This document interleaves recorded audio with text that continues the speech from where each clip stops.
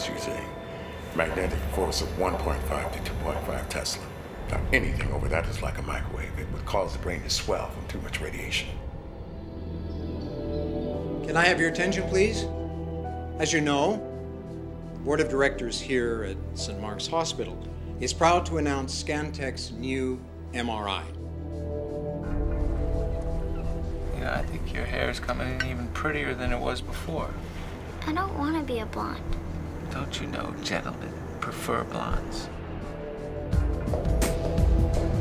Nine months ago, she was diagnosed and treated for cancer of the kidney.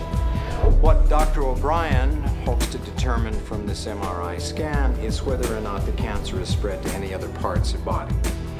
Doctor, Dr. Kane, get in! Oh my God, she sees me. She may be hypoxic. Get her on five liters of oxygen. Start her What's going on? Five lactate to readers at 60 cc's an hour. She suffered a cardiac arrest about half an hour ago. Jamie's EEG, her brain waves, they're flat.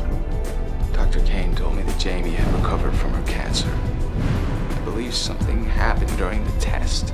A man's driving down the road and has a seizure. You don't blame the car. This is either a case of malpractice on the part of one of the doctors, or the scanner malfunctioned. Something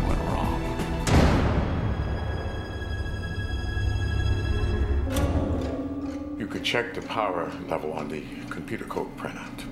Every scan is saved to hard disk. That would be the only sure way of knowing. Stephen, someone removed Jamie's slide and replaced him with these classic autopsy teaching slides. Why is Jameson faking an autopsy to cover up their malpractice? Basically, we were talking about a virus. The MRI has a virus. A computer virus? Well, it's a new type of virus I've only read about. It's called a drone virus. We've uncovered several suspects that are capable of sabotaging the MRI. You think that who's ever studying this virus is an ex-patient of Scantech? It's frightening to think we could have had a disaster on our hands. Try and stay out of trouble. Stop that man! There's nothing wrong with the scanner, Colleen. Get him out of here. You better be. No, you gotta stop the scanner. What are you doing, Roland? What are you doing? Who's ever in that scanner is gonna die.